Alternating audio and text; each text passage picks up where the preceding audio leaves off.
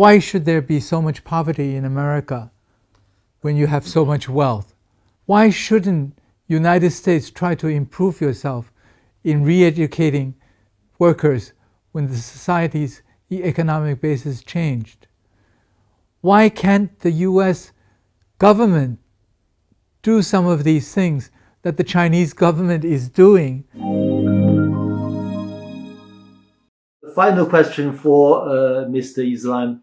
As you are experienced diplomat, you have been to over 50 countries, and most of the developing countries. So uh, what's your impression of the issue of inequality uh, in addition to your country, Bangladesh, or about other countries? Is this a very serious issue? Thank you, Professor. Actually, I have served uh, in Europe and Middle East, and I have traveled around the world. Uh, in Europe, I uh, feel that there is a redistribution system. In the name of social service, uh, there is guarantee of minimum uh, uh, minimum income uh, if they if somebody does not have a job they get uh, some uh, some money from the social security system. So, that is how the inequality in Europe is um, more tolerable. It is like the Gini coefficient is like 0.3 on 0.31 to 0.35 which is very much tolerable and it is similar to my country Bangladesh is uh, is leading in terms of equality the South Asia and also uh, the uh, the women empowerment social system is the most progressive in South Asia. Uh, uh, in Middle East, uh, some countries are, are, like Saudi Arabia, the inequality is very high because of some people have a lot of resources from the fossil fuel, but in general people have the income source. And for America, inequality is high, but still they have they have opportunity. The countries uh, as big as, as China, a little bit maybe similar size, uh, and uh, but the population is less. So, the people have the uh, opportunity of getting employment. But China has really although the inequality is very high in China, but it China has done a spectacular job more than 80 million people bringing up from the poverty line. Everybody has uh, minimum source of income. This is not a matter of joke. China did not occupy other country did not uh, gra grab the proper uh, resources from other country. It did by itself. And it is an inspiration for the countries developing countries like Bangladesh or other countries. That is why I came to China to learn from China uh, and the stable government and certainty these are the things and uh, uh, there is lot of things to learn from China how China brought abroad the people and now it is the uh, proper moment to minimize the gap uh, between the very rich and rich region and the less rich region and also there is opportunity like this high, high speed train China has the largest 60,000 kilometers of high speed rail in China. This is the largest in the whole world. So, in that way the industry will be spread in the villages. That is how the gap between the villages, between the township and the other regions will be minimized uh, and also this green growth. So, all these things it is another historic moment for China and right policy.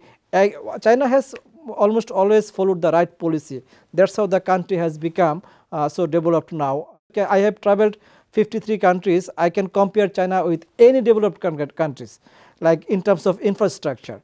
So, all these things China has come up from the level of Bangladesh when it was very poor in 1971 and now this level of development it is really spectacular.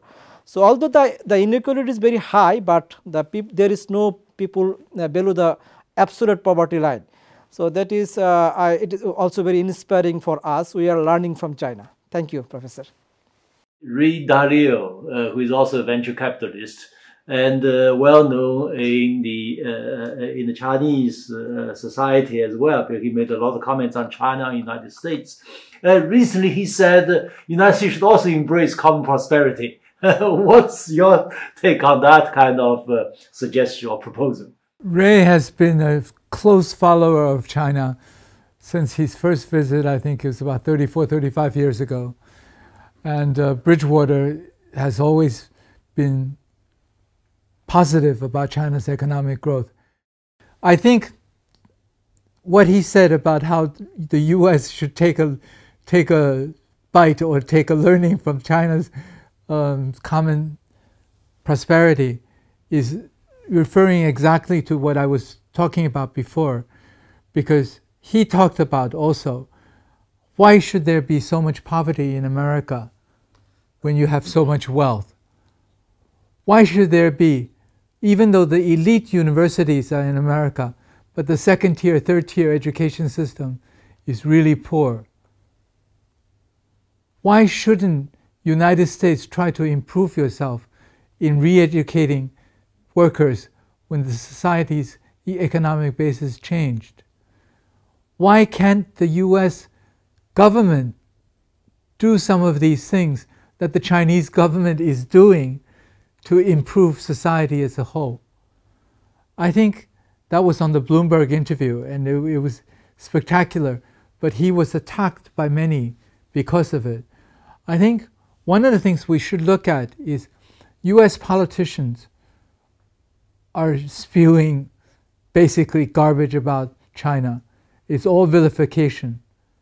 US politicians and the ignorant and the Western media are vilifying China.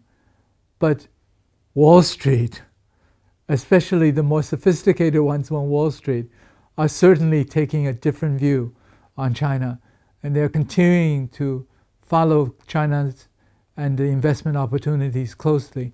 And Ray, Ray Dalio is one of them. But look at who else? Jamie Dimon of JP Morgan Chase. And all the other major banks. HSBC just bought out their partner in the brokerage firm to be wholly owned in China. All of them are actively continuing to pursue the Chinese market.